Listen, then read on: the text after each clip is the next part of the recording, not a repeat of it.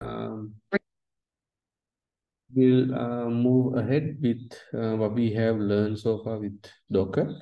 Okay, so you guys have seen uh, the basic uh, commands like how we can uh, get list of Docker images, how we can remove them, how we can run them. And yeah, basically we um, we basically created uh, um, we we we we created an instant or we created a container out of Docker. Now the problem arises. Uh, uh, yes, we created all those things we can find on Docker Hub, right? So we pulled everything uh, from there and we uh, when we when we run run on that. So uh, think a scenario where we want to run our application on a Dockerized environment. Okay. Now our goal is to um, we, we assume that we are developing a simple web application using Python. Okay. Now what we need to do is we need to uh, make sure uh, we, uh, we, we can run this uh, Python uh, server anywhere that we can find. Okay. So how are we going to do that? Uh, we have several things. So for example, if you if you if you want to run the Python application, first thing is that we need to make sure the machine or the instance that we're going to be running is having the uh, is having the Python version it needs. Okay, so you guys know um, uh, you guys know that um, um, there are several versions of Python available, like Python 2.7 and Python 3.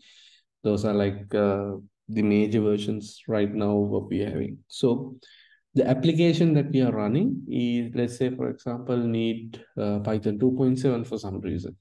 Okay. So in a scenario like that, uh, the machine that we are supposed to run our application should have Python 2.7 if it is having Python version 3, what will happen is there can be version incompatibilities. You can't uh, you can't expect uh, a Python version to be running on a version that is not designed for. Okay. Same goes to other applications as well. Okay. Don't think it's only for Python. Say, for example, we have developed a Node.js application. The application that we have developed is uh, it should be able to run on uh, Node.js 12, but the latest version is Node.js the 20, as, as I can remember. So if if if you're trying to run Node.js 20 at this point, mm, the Node uh, older version won't run. Okay, we need to make sure the environment that we are supposed to run is according to uh, the specification of that. Okay, so rather than setting up the environments and everything for yourself, what we can do is uh, we can create our own Docker image and we can have all the necessary softwares installed within that Docker image in order to run this application. Okay. So we don't need to um, we don't need to make sure what is the Python version or what is the Node.js version that is running on the machine. All we need is Docker installed within the machine that we are we are to we are running. Then the rest will be take care of by the Docker image that we will be creating. Okay, so it's going to be the same thing that like what we did last time. Uh, only difference is we are not pulling an image. What we're going to do is we're going to be creating an image that containing uh, our own, our own application. Okay, the, so our application will be Dockerized. So whoever run this Docker image will be able to run the application without worrying about the versions, uh, necessary libraries, conflicts. No, nothing. So you don't have to worry uh, anything, any sort of uh, complication that might arise while we are running. Okay. So let's see how we can create our own Docker image. First thing I would like to uh, see is that uh, let's take a terminal. I'll be using the built-in uh, VS Code terminal for this, so it will be a little bit easy for me. So let me see uh, what are the images that I have, uh, Docker images. So you guys can see there are like few uh, Docker images that I have installed in, within this machine. Okay, so the Postgres, let me uh, look at the Postgres image. Okay, the Postgres image is um, uh, Postgres image tag is 15 alpha. That means we can assume that this is uh, running Postgres 15 uh, on an Alpine image. Okay, then there is Postgres 15.4. So we can assume that this one is running Postgres 15.4. I'm, I'm, I'm not sure which is the base image. Same goes to other things like there are Mongo, there is Ubuntu. So this is like a basic Ubuntu version 16.04. So first thing first that we need to do is we need to make sure that we get a base image. Base image in the sense, uh, it is the image that we're going to be built on top. Okay. So base images are like uh, we can consider those things as like the basic operating system okay basic operating system i'm not saying that everything that uh, everything that a normal day-to-day -day operating system has but it's like a trimmed down version of what we're going to be based on say for example we have a base image of ubuntu ubuntu 16.4 so uh, this version this is like the base image so in order to run the base Ubuntu operating system, we can use this as a base image. Okay. So there are like very, very smaller versions of base images. As I mentioned, Alpine is one of the base images which, which we consider uh, the smallest of them all. Okay. So anyhow, what we need to do is we need to take a base image based on that, uh, I mean, uh, by using the base image, we will add our own uh, own configuration, own things. Then we can um, uh, create our own Docker image. Okay. So let me show you guys one thing. Um, so uh, in order to create a Docker image, so what I'm gonna do is I am in a directory called uh, Docker. Okay, you can name it whatever you want. Uh, first thing that you need to do is you need to create a file specifically in this name Docker file. Okay, the, the should be capital uh, and file is not having any space. If you are using VS Code, something like me, the icon might change for, you know, you guys can see the icon changes. That is indicating this is a correct Docker file. Okay. So uh, every Docker file uh, should be uh, based on a um, uh, or uh, should start from somewhere. Okay. Sometimes it is enough to start from a base image. Okay. Otherwise, you can based on already built images. Okay, let's let's start with um, our own one. That means we will be creating uh, a, a Docker image, our own Docker image based on a existing base image. Okay, we need to have a base image. So we'll take the very most bare bone ones and we will create a Docker image out of it. Okay, so if I'm use if if you're using VS Code, you might get something like this. Okay, no source image provide with from. So this is an indication saying if you are creating your own Docker image, if you are, if you want to create your own Docker image, you need to specify base image. Okay, you need to specify the base image. So how do we specify the base image? So in order to specify the base image, we use a command called from. Okay, we use a command called from. So from and another, uh, then we have a space and we have to give a base image. Okay. Uh, so you guys can see the description over here provided by Visual Studio Code. So set the base image to use in the subsequent instruction. From must be first instruct in uh, from must be the first instruction in Dockerfile. So that means um, whenever we are creating our own Docker image, the first thing that we need to specify is from. Okay, so from and the base image. So how do we know the base image that we want to use? So we can go, uh, um, uh, we can uh, we can uh, go to Docker Hub and find plenty of base images. But for this demonstration, I'll be using one of the base images that I have already within my machine, which is the, uh, let me check, Docker images.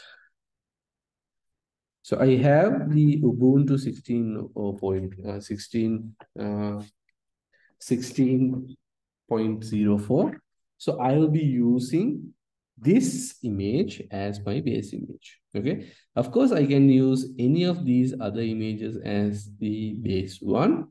But to keep things minimal, I will use the base um, most uh, most basic images like Ubuntu 16.04 for fact, I know that this does not contain any other uh, any other programs uh, other than the basic operating system.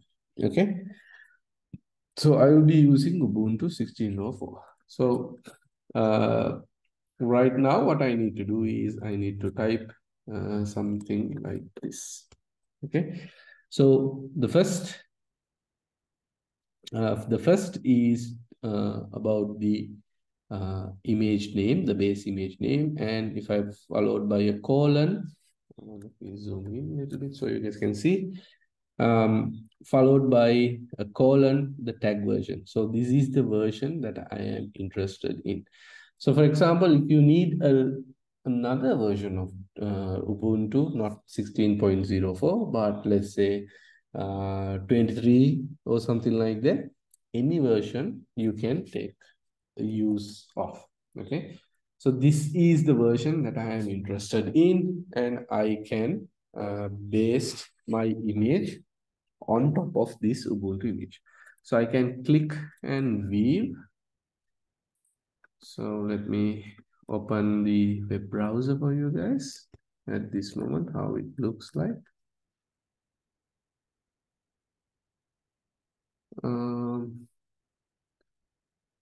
new share, Google Chrome, this one, Google Chrome.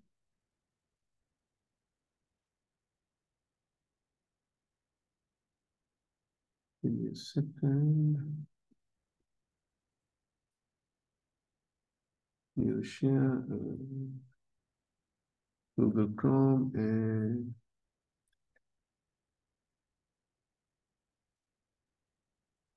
Let's see.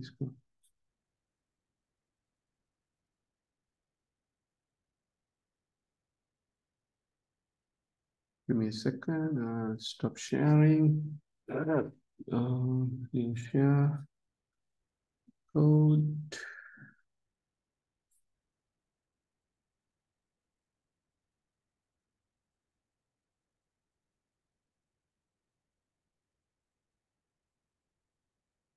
Okay, I think um, I'm showing something else. Give me a second. It's not showing my other window. I'm why.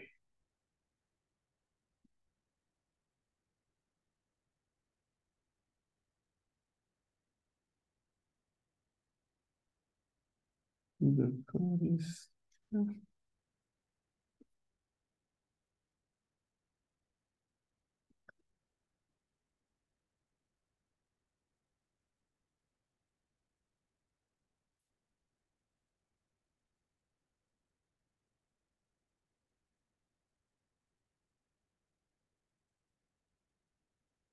Um, Docker Ubuntu. I'm not sure why this is showing. up.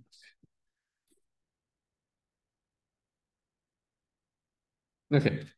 Um, so first thing I need to do is I need to um, look for the base image. So if I go to Docker Hub and if I search Ubuntu, I will get a lot of uh, images. Right now, there are like a uh, few variants.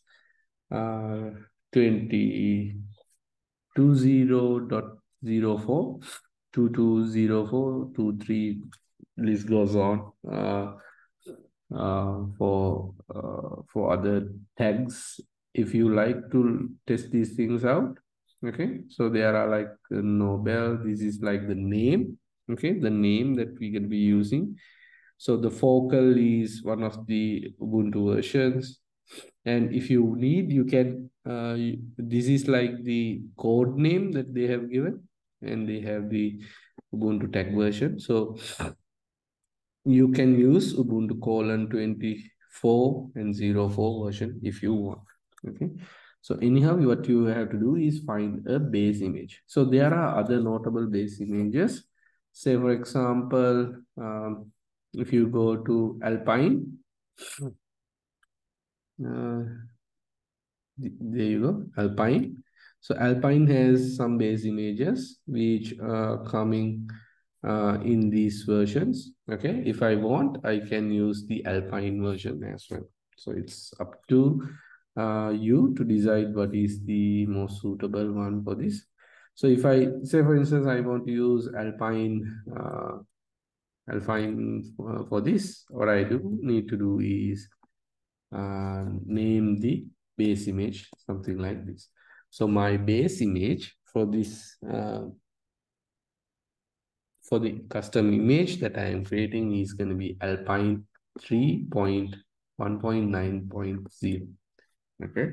So let's use that. Um, what will happen? So if you guys can remember in my Docker images section, I did not have uh, Alpine 3.9.0. Okay. So that might be helpful. And the next thing that we need to do is, um, is to um, install necessary softwares. Okay. Even I can run this application and see how it goes.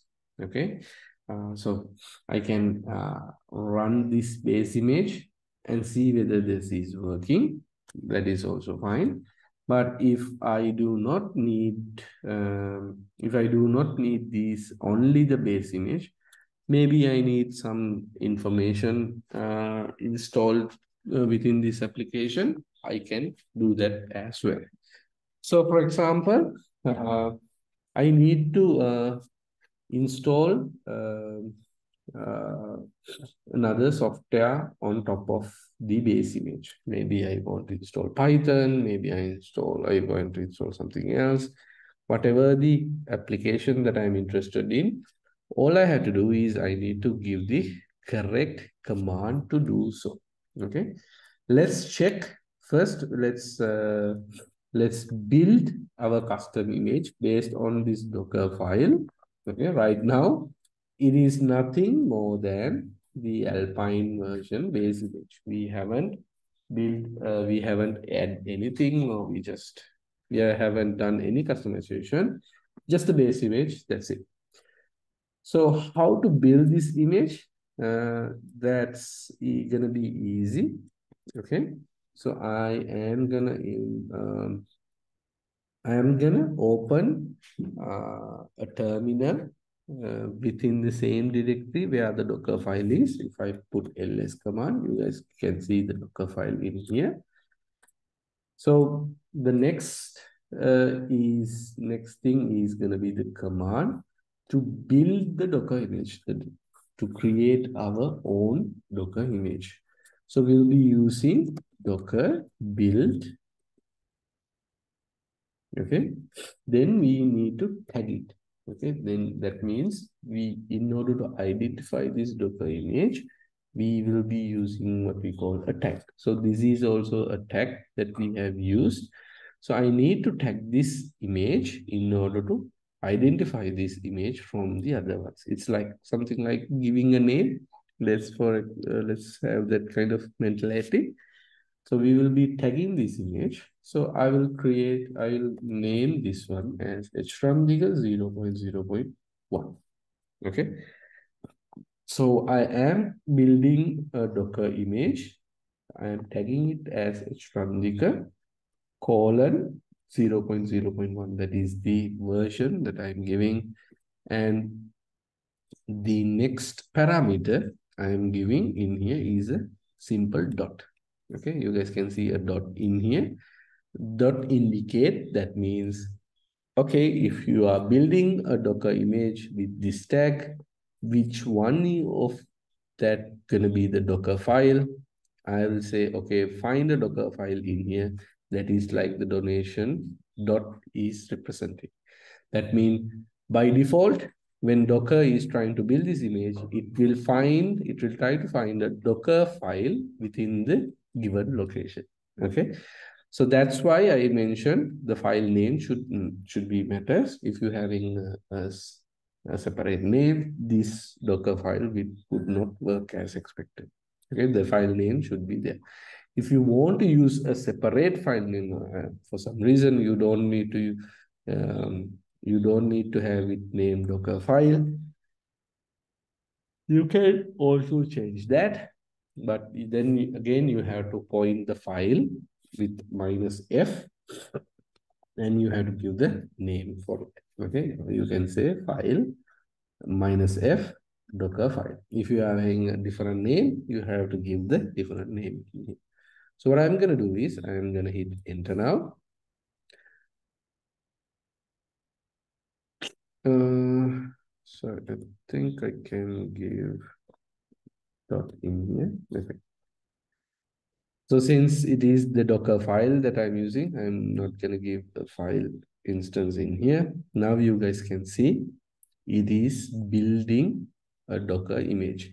So it is missing uh, Alpine uh, when we are talking. So what it's going to do, it's first it's going to download the base image and it's going to it's gonna create uh, an image out of it okay?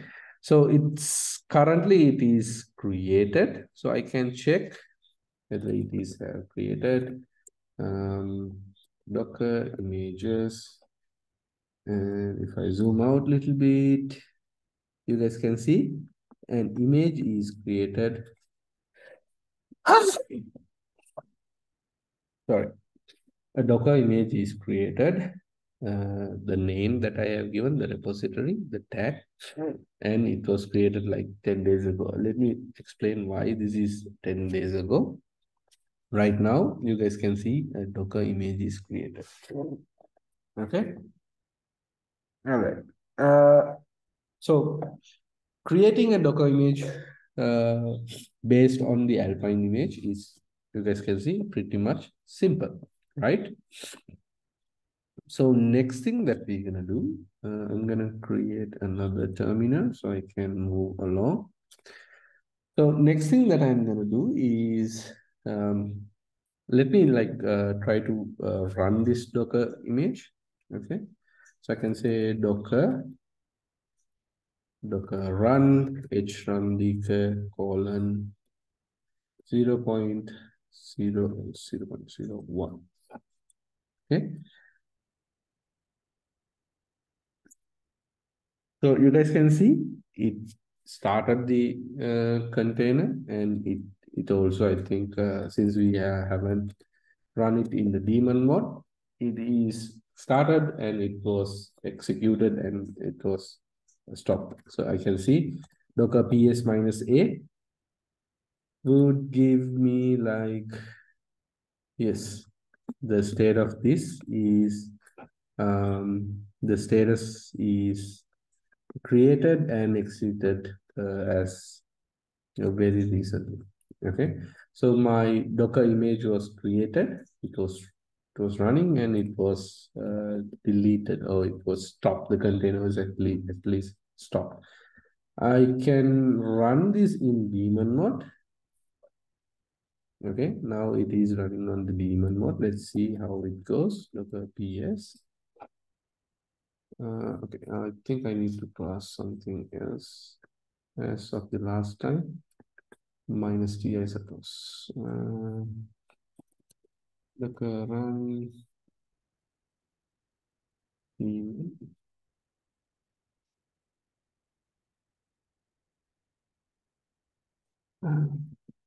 mode.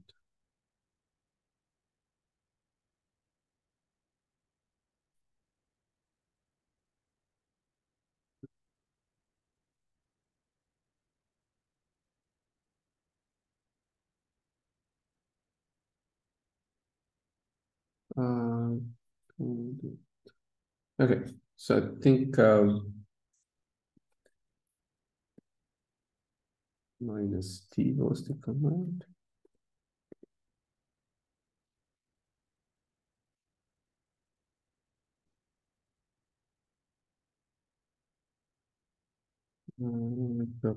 Ps. Okay, minus i should be there.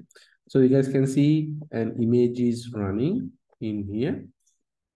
Uh, the container ID is this, so I can assume that uh, the Docker container is running. Let me try to uh, go to that. Uh, exe ec minus id. I think it is uh, bash. No, it's not sh. Let me check what is the shell. Alpine image shell. Okay. Uh, uh,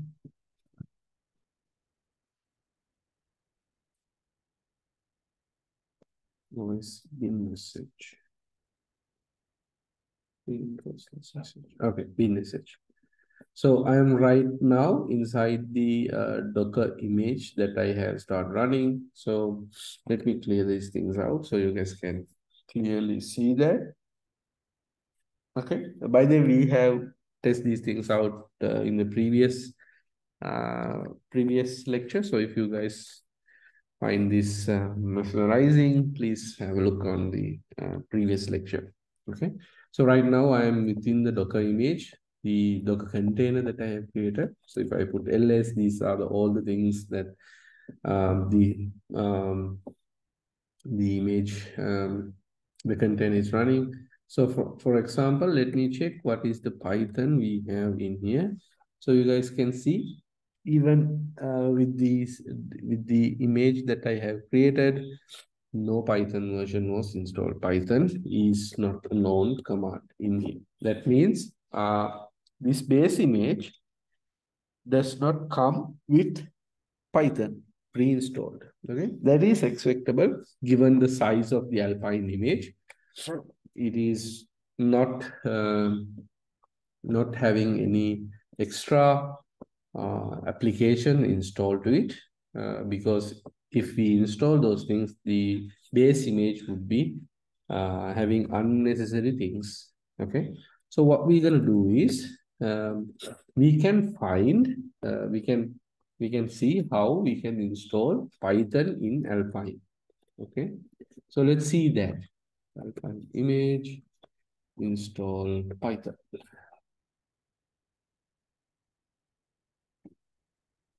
Sorry.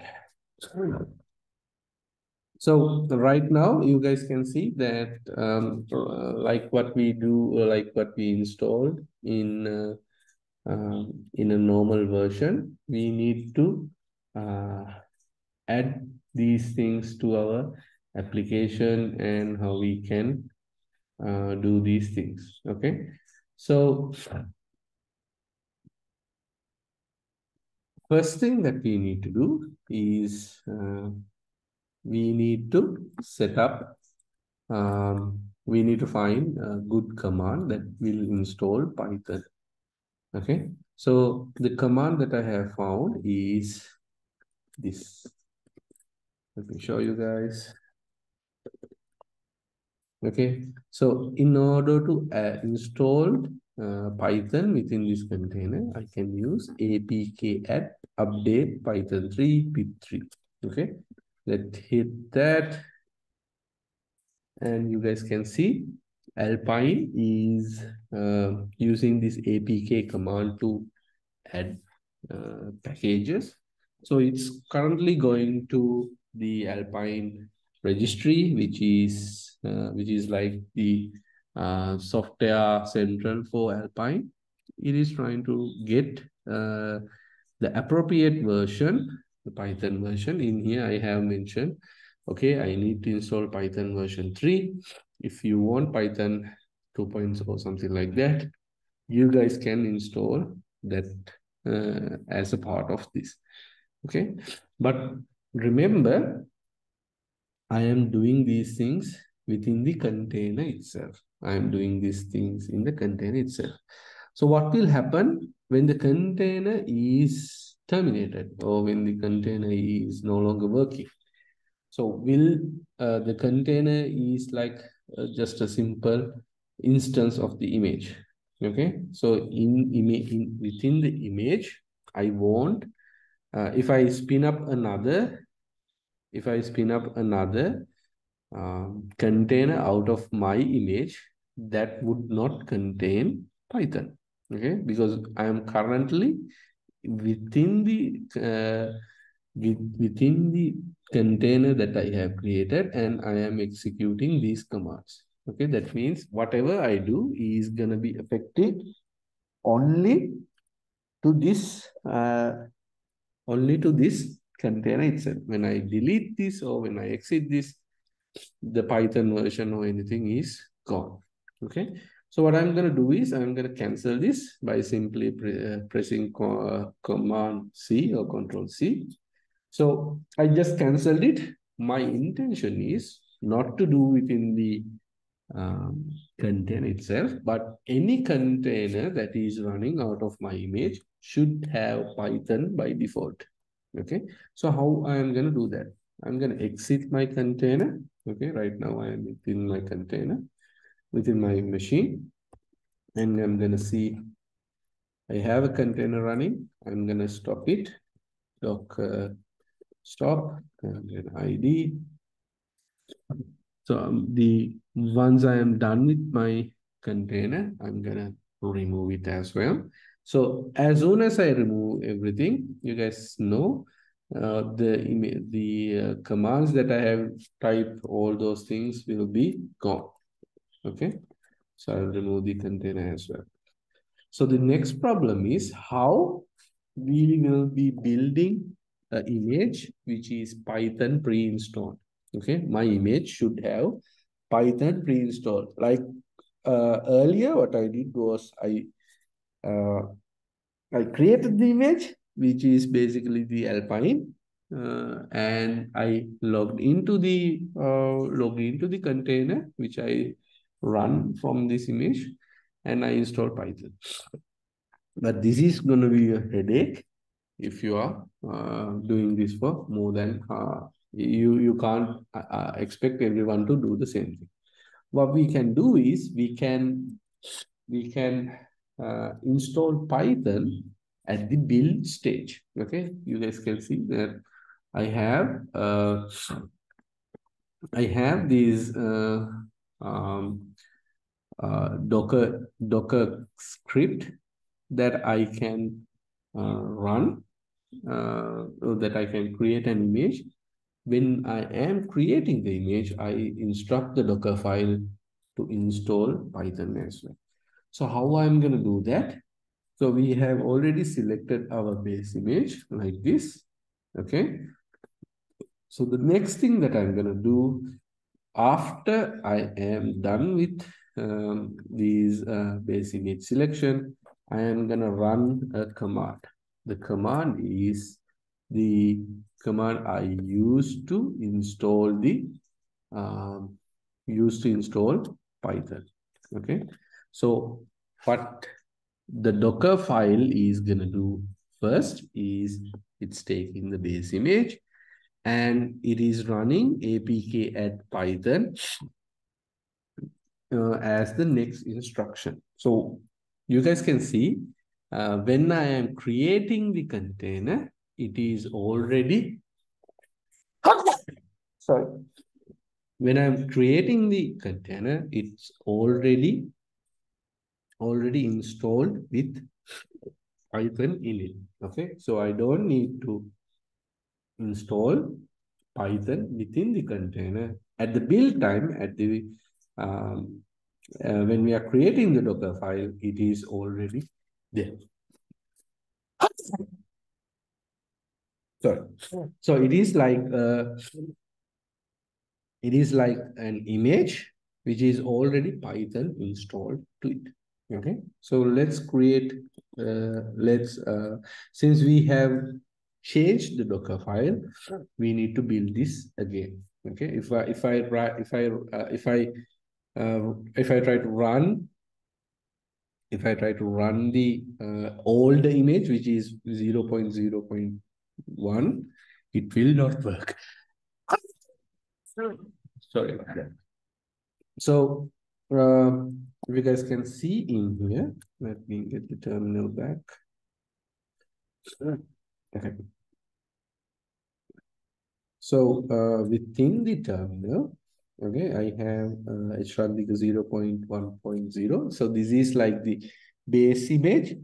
This does not contain python okay? Now i'm going to create a docker image docker build minus t HRANDIKA colon 0 0.0 i can create one okay if I create one, that would do what it do, it will override the existing image okay, override this fixing image. So or by overriding what will happen, earlier it was only Alpine base. Now it will also add uh, the Python command that we are supposed to run. Okay. If I create uh, version 2, what will happen? It will create a new image, uh, not the same one that we have seen as the 0 0.0.1, but a new image which will include this command execution. Okay. 0 0.01 version did not have the this command, but in this version, it will execute this. So the difference between version 1 and version 2 is it's the version 2 will have already installed Python in it. Okay. All right. Uh, let me build uh, version uh, point two, and I'll say use the dot here. That means it is going to build uh, on based on this location. Okay. All right.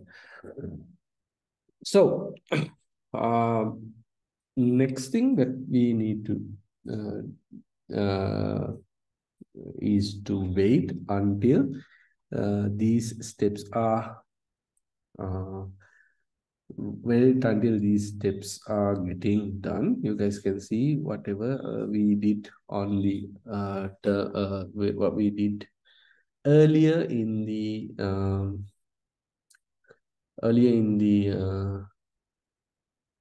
um, early in the application those things are happening right now okay so um let me terminate this one. So I found a better instruction uh, for application. So let me paste that. So first thing is uh, um, uh, first thing that we did was we we have another command called env. Okay, this is something new. So env uh, is uh, another command like run from env set environmental variables. Okay, environment variables. That means within the uh, within the application itself, if somebody is asking uh, Python buffered uh, within the environment, it will be one. Okay, so this is like what we call an environment variable This is something like within your terminal, you are putting a global variable.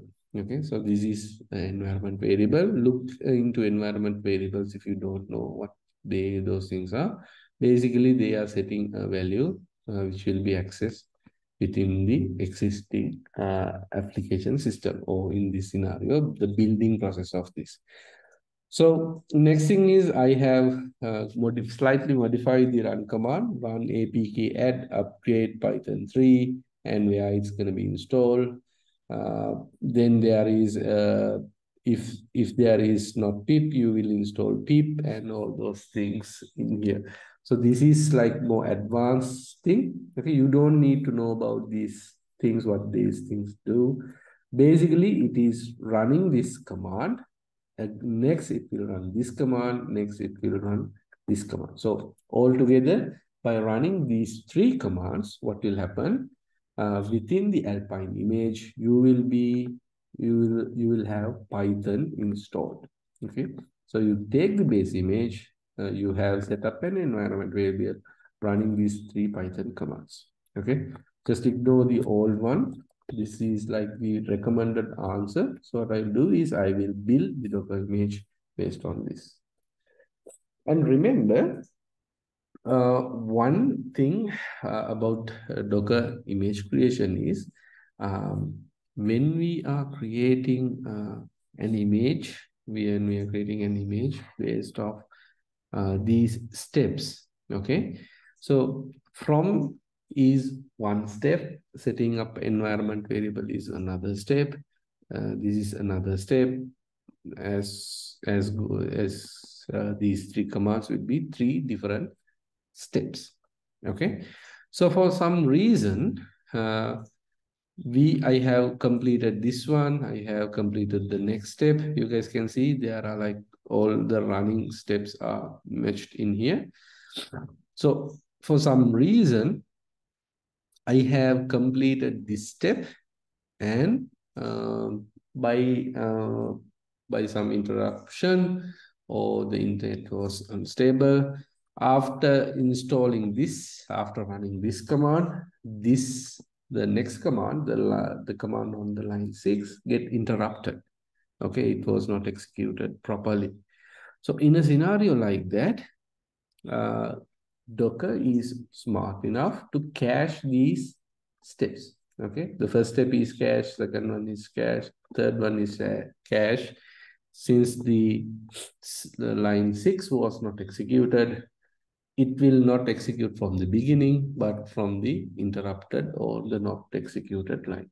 So this is uh, something that will uh, help us to identify the uh, identify some build patterns okay? Not something that we're going to be doing in this uh, scenario uh, in this course but pretty much will be useful when you are running an application uh, later on. But for now just remember these layers are being cached if they are successfully executed okay. So for instance after uh, it is taking a little bit of time to install this python version but uh, all these things uh, when everything is installed every command that we see here in is uh, executed. If i try to uh, build another version you will see if these things are executed uh, before they will be cached out. You don't need to wait until like the Python installing that happens right now. You don't need to wait. Now you guys can see the time even around like 160 seconds. So if you cache this one, if you build something later on, as long as you do not change anything here, they will be cached. For some reason, let's say uh, I have changed some parameter in this line. Okay, I have changed the, some parameters in this line. So what will happen then? Again, uh, the line that I have modified will be different because when we are executing that, when we are executing something different, we can assume that this layer has changed. This is also changing and so on and so forth. So unless you haven't changed anything in this uh, lines for the next build, what will happen? They will use the cache in order to build the uh, upcoming images. Okay, so that is like what we are seeing within the uh, Docker build commands. Okay, so uh, give it some time uh, based on based on your requirement. You might need to install Python, sometimes you might need to install Java,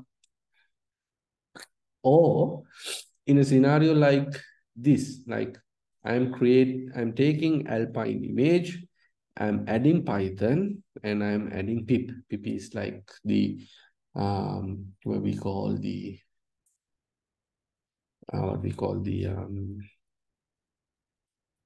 a package manager for Python. Okay, so it is taking the base image, installing Python. Or what you can do is you can go to Docker Hub, go to official images and search for Python. So what will happen is there will be images which are already uh, already